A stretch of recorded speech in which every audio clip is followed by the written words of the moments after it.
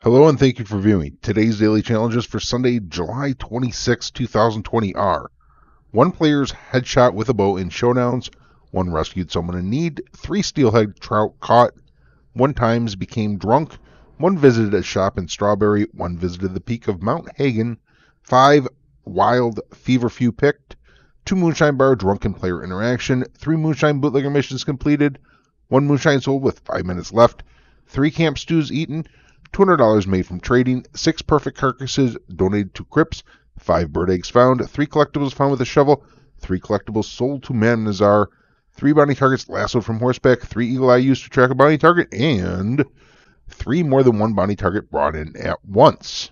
As you can see on the map, Madam Nazar is found north of Manzanita Post today.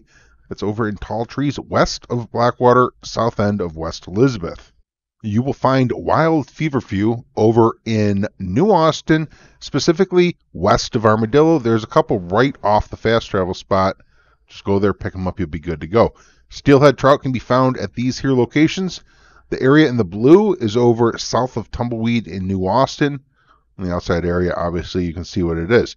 Rescue someone in need locations here. If you want to get these, a bigger map, go into Discord, type exclamation point find rescue and this map will pop up. There is a link in the description for Discord.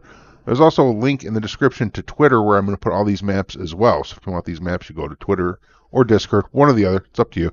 Then Mount Hagen, northwest of Valentine. Hope this helps you out. I'll catch you all next time.